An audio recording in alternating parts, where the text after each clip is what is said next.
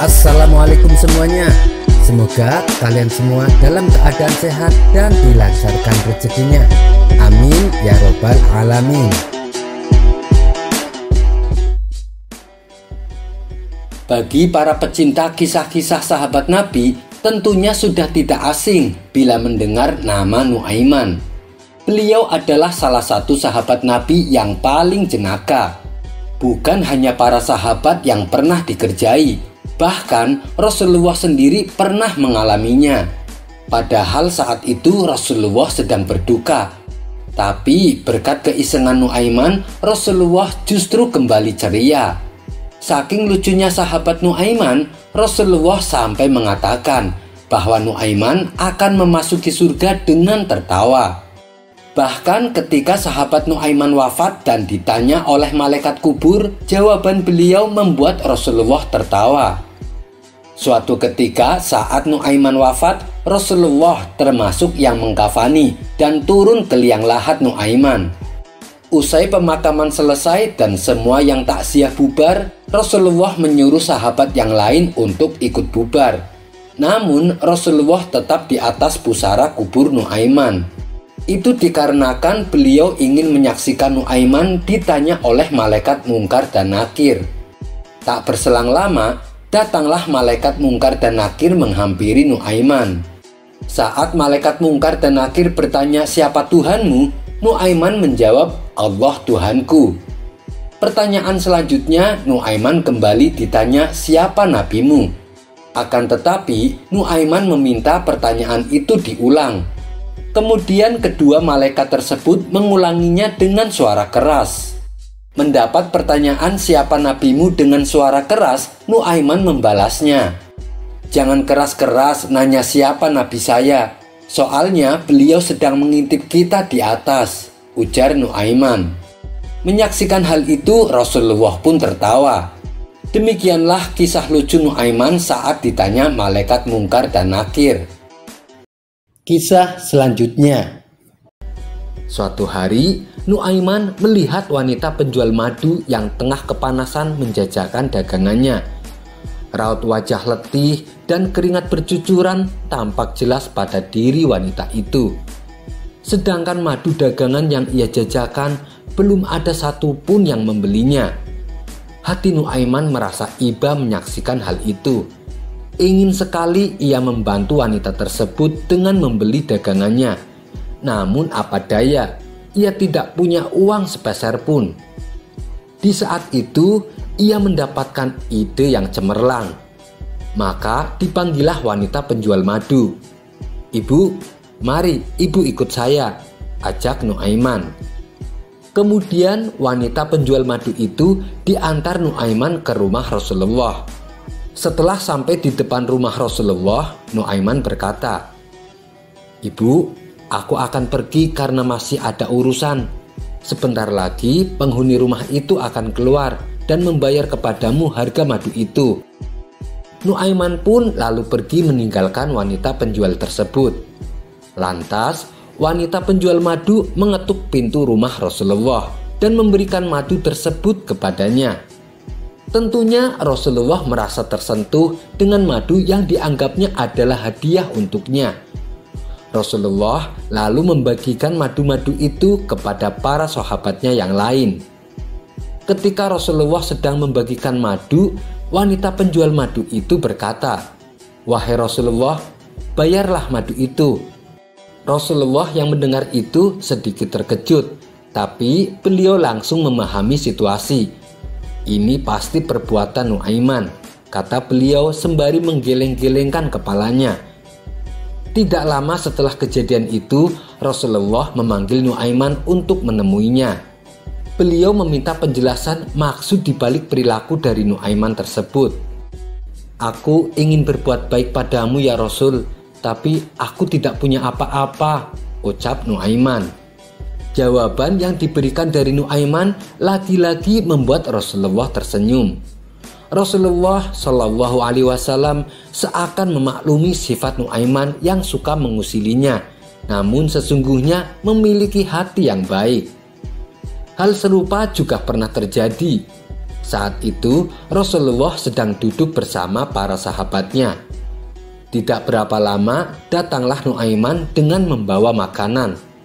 Makanan tersebut lalu dibagi-bagikan kepada semua orang yang ada di situ.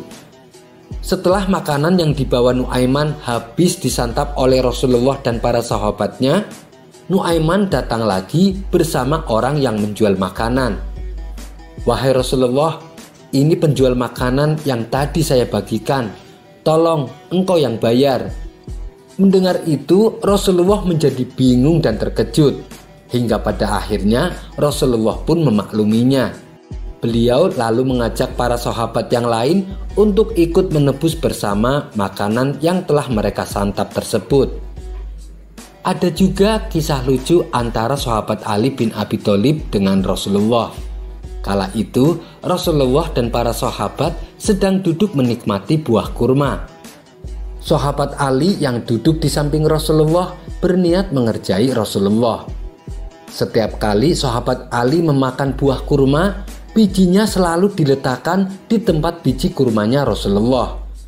Setelah bijinya sudah terkumpul banyak, sahabat Ali berkata, "Wahai Rasulullah, engkau makan kurma banyak sekali." Mendengar itu, Rasulullah hanya tersenyum. Namun, beliau tak kalah cerdik Hai Ali, apakah engkau makan kurma bersama biji-bijinya? Sampai tak ada satupun biji kurma di tempatmu. Balas Rasulullah. Spontan para sahabat yang berkumpul langsung tertawa mendengar perkataan Rasulullah. Kisah selanjutnya Nuaiman adalah sahabat Nabi yang terkenal dengan ulah isengnya. Hampir semua orang yang ia kenal pasti pernah dikerjainya. Bahkan Rasulullah sendiri tak luput dari perbuatan usil Nuaiman. Para sahabat menyebutkan, tidaklah Rasulullah dalam keadaan sedih kecuali Nuaiman datang dan Rasulullah akan tersenyum. Sebab hanya Nuaiman yang bisa membuat sedihnya Rasulullah berubah menjadi tawa. Namun di balik kelucuannya yang sering membuat Rasulullah tertawa, Nuaiman ternyata seorang pemabuk. Setiap kali ia kedapatan mabuk-mabukan, Rasulullah menghukum cambuk. Bukannya kapok, tapi justru ia sering mengulangi perbuatannya yang membuat para sahabatnya jadi geram. Mereka menganggap Nuaiman mempermainkan hukum Allah dan Rasulnya. Suatu hari saat Nuaiman kedapatan mabuk lagi, para sahabat langsung menangkap dan menghukumnya. Mereka mencambuk Nuaiman dan mencelanya.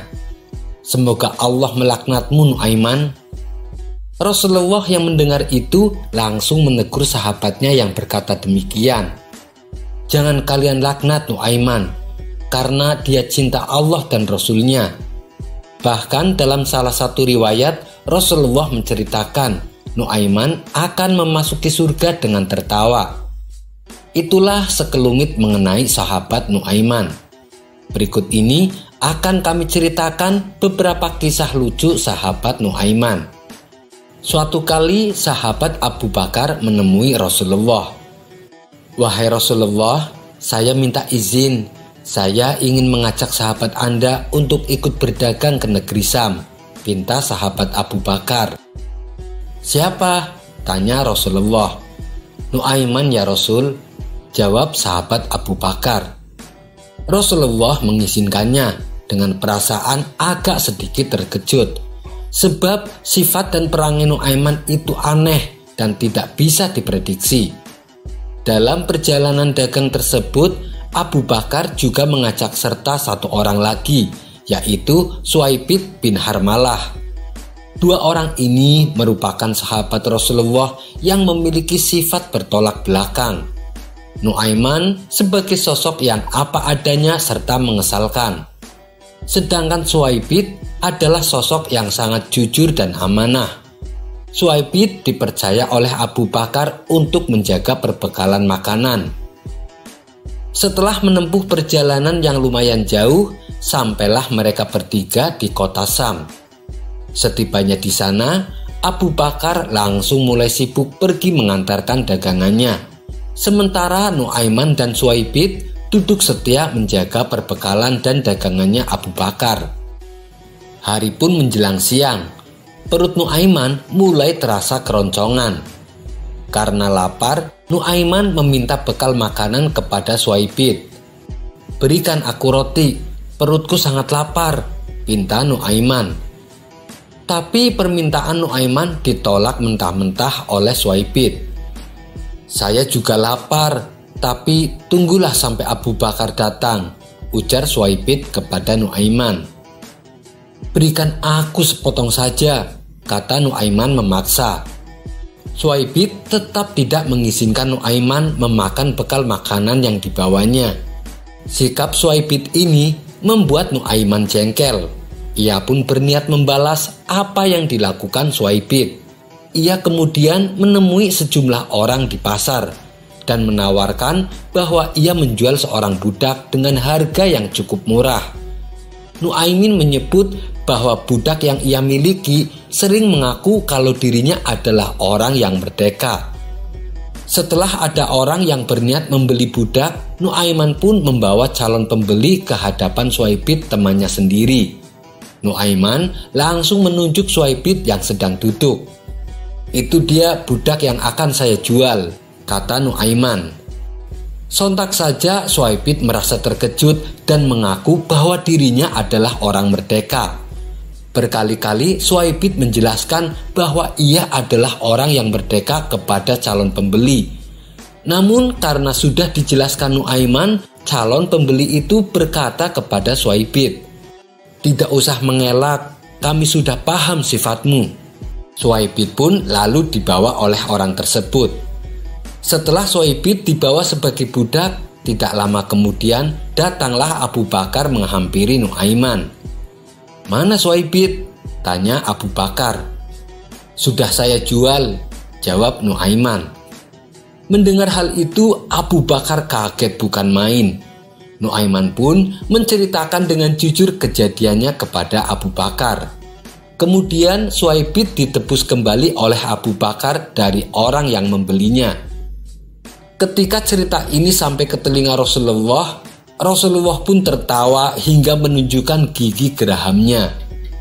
Di masa kepemimpinan Khalifah Utsman bin Affan, Nuaiman pernah juga mengerjai kakek tua. Kala itu, Nuaiman yang sedang duduk santai melihat seorang kakek buta tanpa kebingungan. Ia berjalan mondar-mandir dengan tongkatnya. Rasa penasaran pun hingga pada diri Nuaiman.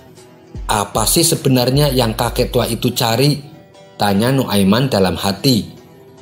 Kakek buta tersebut adalah Mahromah bin Naufal. Usianya sudah 115 tahun. Hei kakek tua, mendekatlah, kemari ke sini, seru Nuaiman. Kemudian kakek buta itu mendekati suara yang memanggilnya. Kau ini kenapa? Kenapa dari tadi mondar-mandir terus? Tanya Nuaiman. Aku kebelet kencing, tapi aku belum menemukan tempatnya, jawab kakek buta itu. Oh, ngomong dong dari tadi, sahut Nuaiman. Kemudian Nuaiman memegang tangan kakek buta dan menuntunnya. Di saat itulah muncul ide usil Nuaiman. Ia mengantarkan kakek buta itu masuk ke dalam masjid.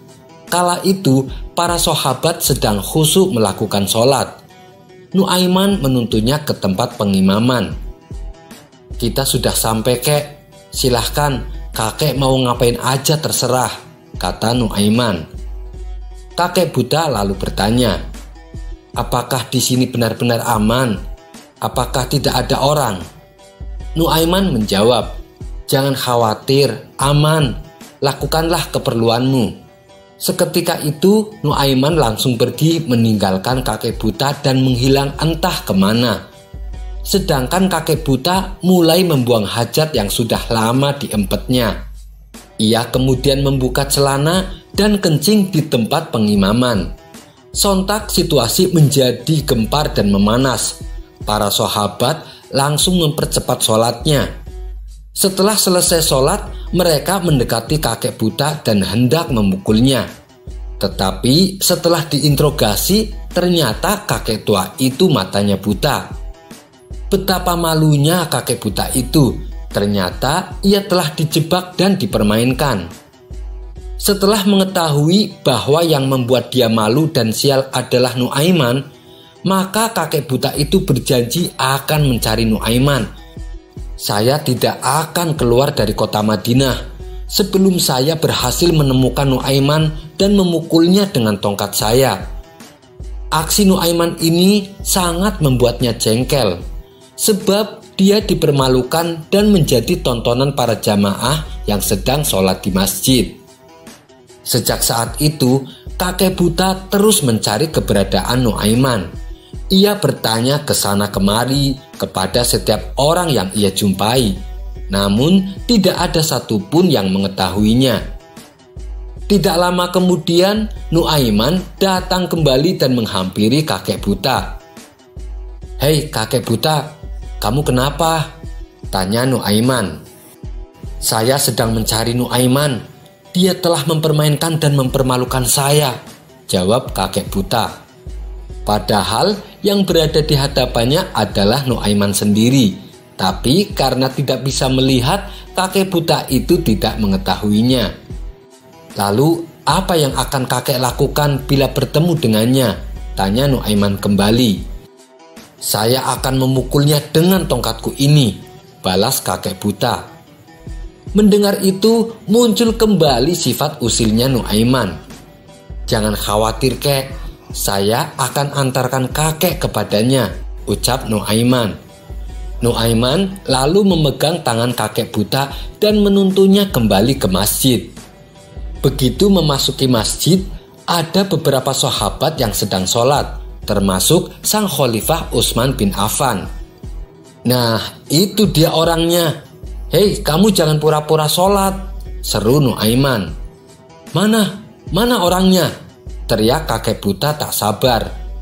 Kemudian Nuaiman menyodorkan tongkat yang dipegang kakek tua ke tubuh Khalifah Utsman bin Affan yang sedang sholat.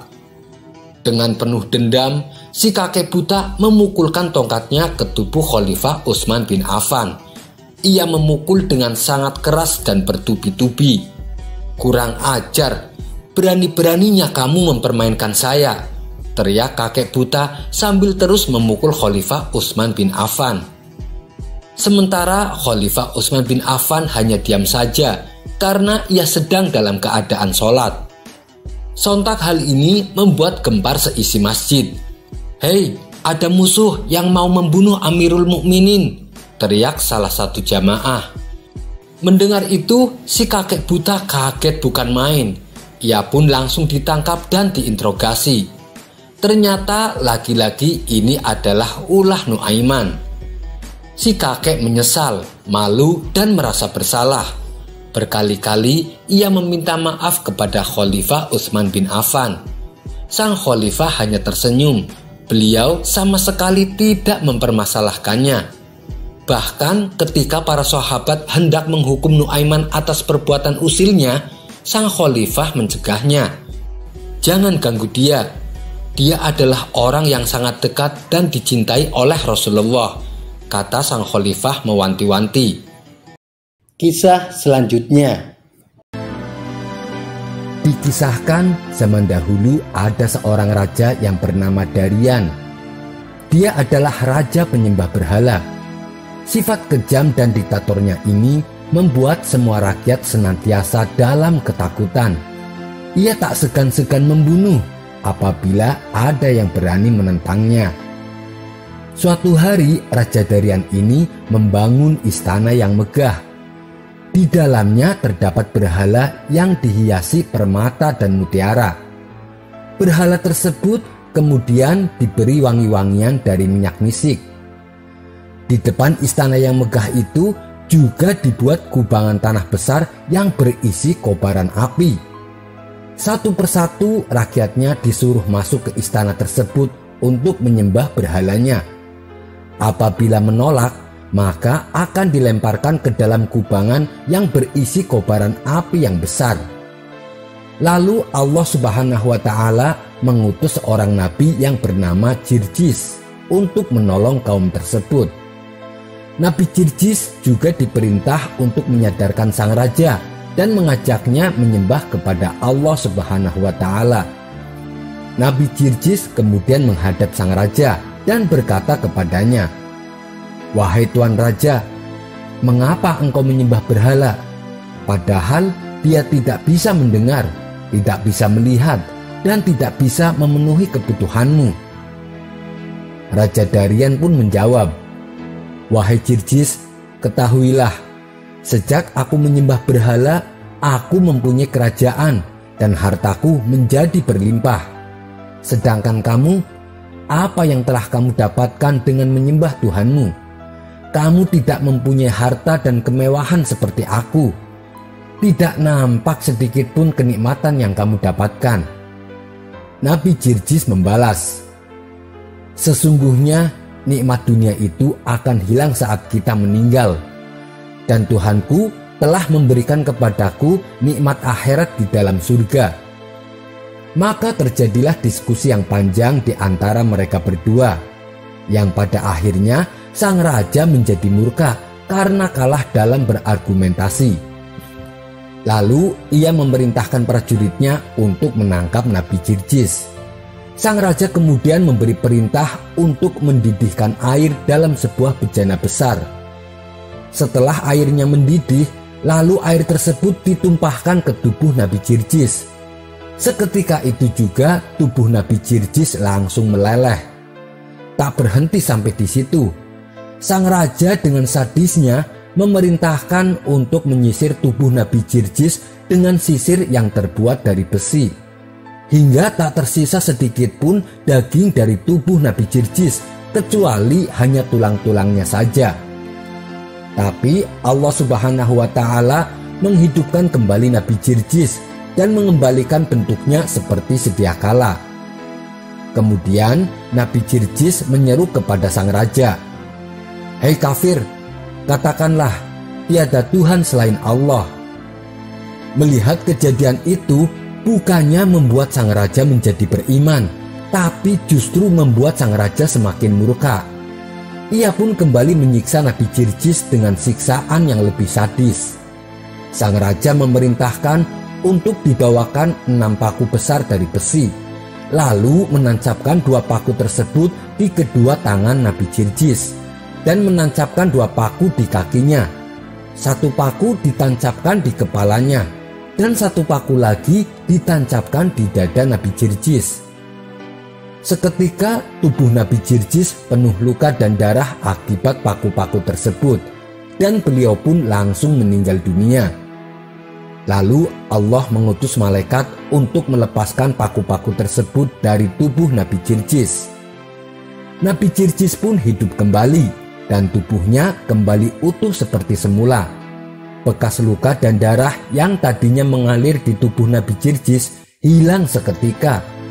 Nabi Jirjis kembali menyeru kepada sang raja dengan suara yang lebih keras. Hai kafir, katakanlah, tiada Tuhan selain Allah. Untuk kedua kalinya, sang raja dibuat murka oleh Nabi Jirjis. Raja kembali menyiksa Nabi Jirjis dengan siksaan yang lebih sadis dari sebelumnya. Ia memerintahkan untuk mendatangkan kuali yang besar. Di dalam kuali tersebut terdapat air yang sangat mendidih.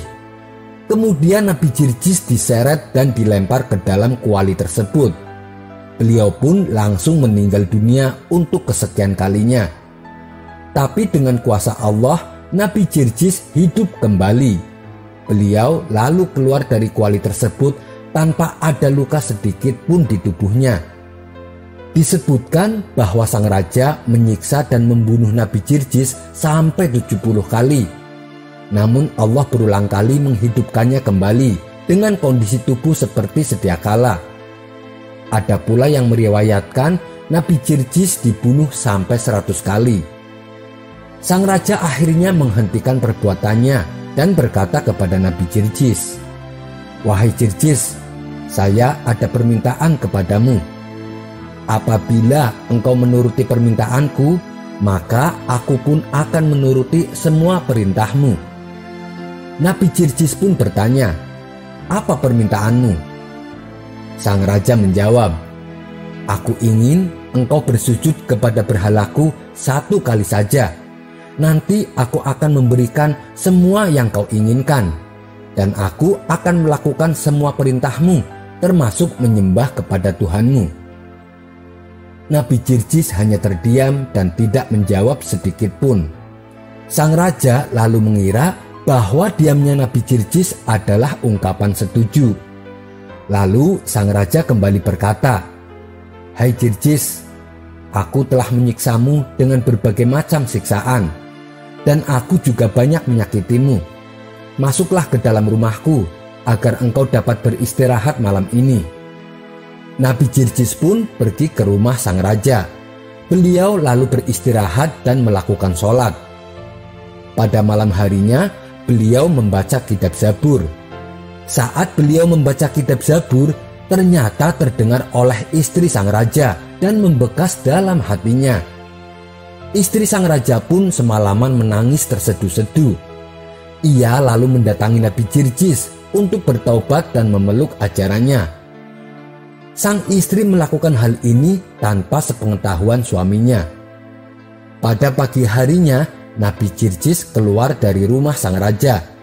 Sang raja segera mengajaknya ke tempat berhala Nabi Jirjis pun mengikutinya. Tapi ketika sudah di hadapan berhala, Nabi Jirjis hanya diam saja.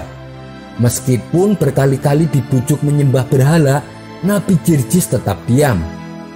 Tentu saja hal ini membuat sang raja murka. Ia pun lalu menyuruh prajuritnya untuk memasukkan Nabi Jirjis ke sebuah gubuk tua. Di dalam gubuk tersebut dihuni oleh wanita tua dan seorang anak kecil yang bisu, tuli, dan buta. Di gubuk itu, Nabi Jirjis tidak diberi makanan dan tidak ada seorang pun yang boleh memberinya makan. Saat beliau mulai merasakan kelaparan, beliau melihat ada sebatang kayu di dalam rumah itu. Lalu Nabi Jirjis pun berdoa kepada Allah. Dengan kuasa Allah, batang kayu itu tumbuh daun dan berbuah dengan buah yang bermacam-macam.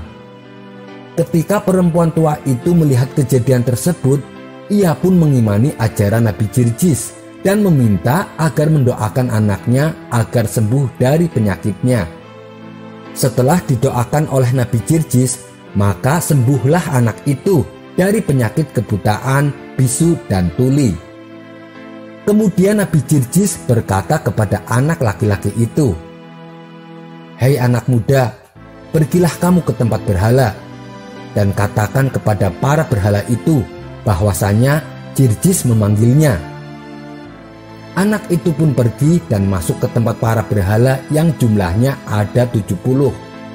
Lalu anak itu menyampaikan kepada berhala apa yang diperintahkan oleh Nabi Jirjis.